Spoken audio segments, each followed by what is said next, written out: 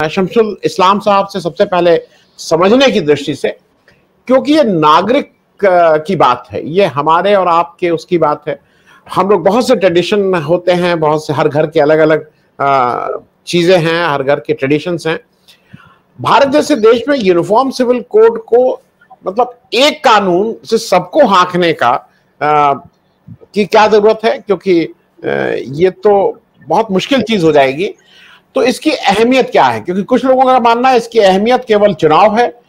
चुनाव से पहले एक एक एक भय दिखा के या इसके, इसकी आड़ में वोट कंसोलिडेशन का काम है।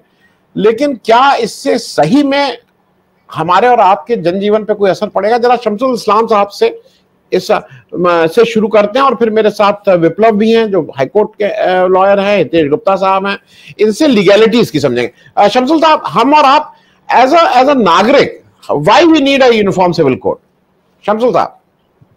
नहीं मतलब यह है कि एक ऐसे देश के अंदर, एक ऐसे समाज के अंदर, जहाँ सैकड़ों भाषाएँ बोली जाती हों, जहाँ ऐसे हिंदू रहते हो जो प्याज खाने पर धर्म का तंबू गिर जाएगा और ऐसे हिंदू भी रहते हैं जो मीट के बिना और पूजा नहीं हो सकती, मीट खाए बिना। और इसी तरह से मुसलमानों में मुसलमानों में जितने अंतर, जितने भाषाई, जितने कल्चरल अंतर हैं, ईसाइयों के अंदर जैनियों के अंदर, बुद्धिस्ट के बीच में, वहाँ पर ये एक बड़ी गलती यह है कि आप यूनिफॉर्मिटी की बात करते हैं। किसी एक स्कूल की तो यूनिफॉर्म हो सकती है। हालाँकि आजकल एक कुछ यूनिफॉर्म करने पर भी आपका स्कूल ढाया जा सकता है और गिराया जा सकते हैं। अगर आपने अगर आपने एक तरह की यूनिफॉर्म पहना दी तो। तो वो वो एक चीज़ है। तो एक एक बहुत गलत एक, जो सोच है वो ये कि ये जो अलग अलग धर्म हैं अलग अलग धर्म हैं उनके सब धर्मों के अनुयायी जो हैं वो एक तरह का कल्चर उनका है।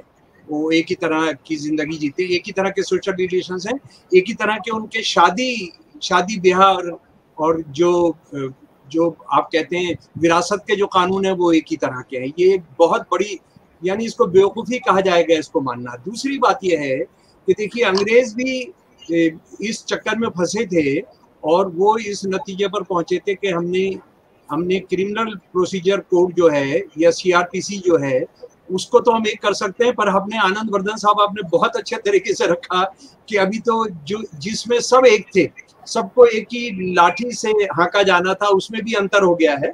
और आप ये एक महान हमारे राजपूत जो बड़े नेता हैं और मेंबर पार्लियामेंट हैं, वो किस तरह से बचाए जा रहे हैं उसके अलावा आप गाय के नाम पर लोगों को मार दें तो आप पर कोई मुकदमा नहीं चल सकता, आपकी गिरफ्तारी भी नहीं होगी, इसको भी हम लगातार देख रहे हैं। आप दलितों को मार दें, दलित औरत के साथ रेप कर लें तो कोई ज़रूरी नहीं कि आपका, आप पर मुकदमा चलेगा या आपको सजा होगी। तो ये चीज़, एक बहुत बहुत गंभीर एक मसला है। एक सबसे इम्पोर्टेंट बात यह है इसमें कि हम ये किस लिए चाहते हैं uniform civil code uniform civil code हम जो लिंग की, जो जेंडर इक्वलिटी है उसके लिए चाहते हैं? या हम पहचान पॉलिटिक्स हमारी आइडेंटिटी पॉलिटिक्स है, उसमें किसी एक पहचान की दादागिरी स्थापित करने के लिए चाहते हैं। देखिए, मैं यहाँ इतने विद्वान बैठे हैं कानून विशेषज्ञ भी बैठे हैं, वो जाकर बात करेंगे, लेकिन मैं जरा सा छू देता हूँ कि संविधान सभा में जब इस पर बात हो रही थी तो रेणुका रेणुका रे जो कॉन्स्टिट्यूट असेंबली की मेंबर थी, उन्होंने एक बहुत गंभीर सवाल उठाया था कि आप आप यूनिफॉर्म सिविल कोड का जो है, जो जेंडर इक्वलिटी को लेकर है, जो जिसका आधार जेंडर इक्वलिटी होनी चाहिए, उसको आप फंडामेंटल राइट्स में रखें। लेकिन आप जानते हैं कि उसको नहीं रखा गया। हम इस बात को भी जानते हैं कि जो महिला स्वतंत्रता संग्राम में जुड़ी हुई थी, वो बार बार इस सवाल को कर रही थी कि पेट्रियार्की के सवाल को स्वतंत्रता संग्राम में लाया जाए। लेकिन जो नेतृत्व था उसने उसने उसने बिल्कुल इससे डरता था और ये कहता था कि नहीं नहीं, ये करना बड़ा खतरनाक हो जाएगा, इससे हम लोग हम लोग के आपस में टूटन हो जाएगी। अच्छा ये मैं बात कर रहा हूँ, जो लोग स्वतंत्रता संग्राम का आंदोलन लड़ रहे थे, आनंद भाई साहब, मैं उनकी बात नहीं कर रहा हूँ, जो विरोध कर रहे थे। जो विरोध कर रहे थे, वो तो औरत की किसी आज़ादी औरत औरत के लिए वो मनुस्मृति के अलावा उनके पास कोई दूसरा नहीं था और आज भी मैं मैं चाहूँगा कि इस पर थोड़ा सा हम समय निकाले। भाई साहब कि 26 नवंबर 1949 को भारत की संविधान सभा ने संविधान पास किया। चार दिन के बाद आरएसएस का जो मुखपत्र है ऑर्गेनाइजर वो एक एडिटोरियल लिखता है we reject this we want Manusmriti Manu Manusmriti को चाहने वाले वो यूनिफॉर्म सिविल कोड चाहते हैं। तो इसका मतलब यह है कि यूनिफॉर्म सिविल कोड से उनका सिर्फ़ एक तात्पर्य है। वो वो उनका मकसद ये है कि मुसलमानों को सीधा किया जाए।